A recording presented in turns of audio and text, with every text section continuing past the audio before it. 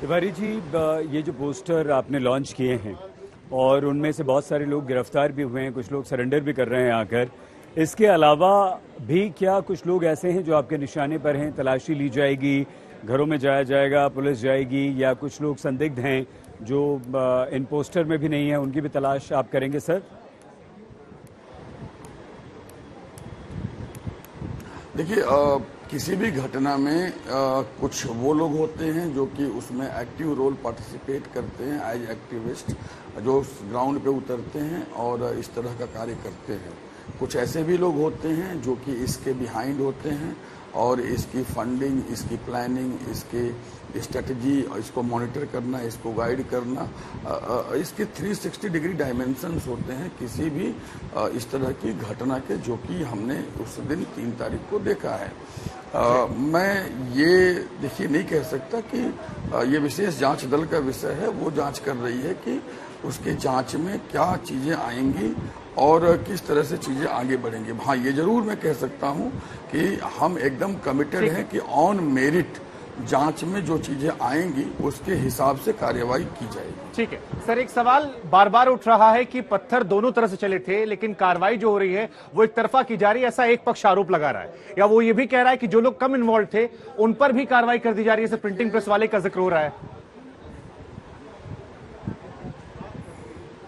देखिए कार्यवाही उन पे की जा रही है जिन्होंने दो तीन घंटे तक गलियों में पत्थर चलाए जिनके फुटेजेज सभी ज़्यादातर चैनल्स के पास भी हैं जिन्होंने अपने कैमरे में कैप्चर किए हैं। कार्यवाही उन पे की जा रही है जिनके साथ पुलिस बल को अलग अलग गलियों में दादा मियाँ इलाके में आ, उसके अलावा पेशवाग तिराहे के इलाके में उसके अलावा नई सड़क पे अंदर के इलाके में जिनके साथ तीन घंटा संघर्ष करना पड़ा कार्यवाही उनके ऊपर की जा रही है जिनको बार बार लाउड स्पीकर से कहने के बावजूद भी पुलिस बल हटा नहीं पाया।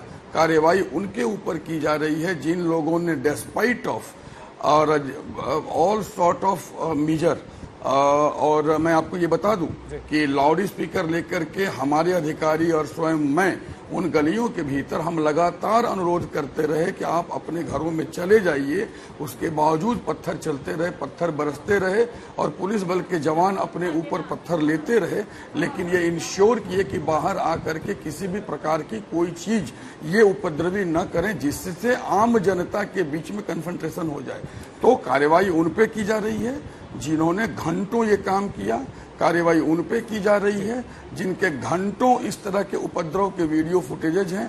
कार्यवाही उन पे की जा रही है, जिन्होंने पत्थर चलाए और जिस प्रकार से मेडिकल हुआ, जिस तरह से चोटें देखी गई हैं, जिनकी चोटें लगी हैं उनको एग्जामिन कराया गया है और साथ में ये इंश्योर किया गया है कि पूरे घटनाक्रम को पारदर्शी तरीके से देखा जाए निष्पक्ष तरीके से देखा जाए और we are very open in investigation there is no question of any kind of discrimination Anand ji, लेकिन साथ ही कई सवाल भी उठ रहे हैं कि जब जानकारी थी कि शुक्रवार का दिन है, जुमे की नमाज़ होगी, इतने सारे आरोपियों की अगर बात कर रहे हैं, इतनी अगर हिंसा हुई तो उसमें कम पुलिस वाले क्यों गए? क्या लोकल इंटेलिजेंस यूनिट की फेलियर है? एक, ये सवाल हो गया। दूसरा, कि जो आप लोगों ने पोस्टर्स जारी किए हैं, उस पर काफ़ी कारगर हमें देखने को मिल रहे हैं, क्योंकि अभी जानकारी मिल रही है कि पोस्टर्स में से जो सुराग आप लोगों को मिल रहे हैं, कुछ आरोपी तो खुद ही जाकर थाने सरेंडर कराए।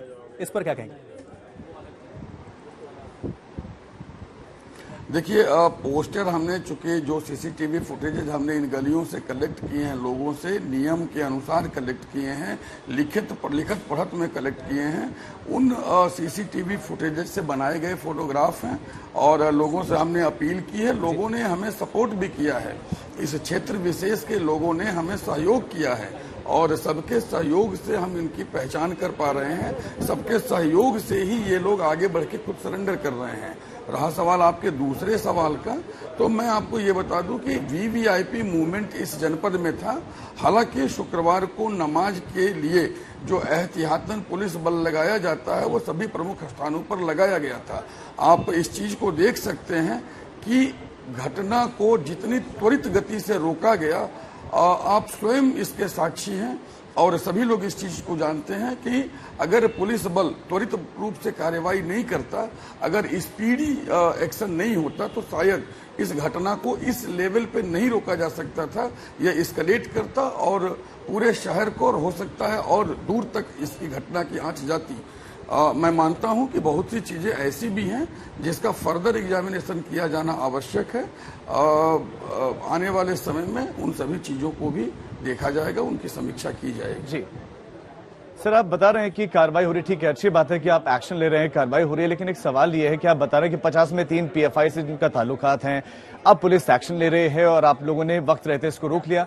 लेकिन अगर वाकई तत्पर रहती पुलिस या खुफिया एजेंसी अलर्ट रहती तो ये स्थितियाँ नहीं आती, ये नौबत ही नहीं आती तो आप मानते हैं कि कहीं ना कहीं चूक हो गई थी शुरुआत में?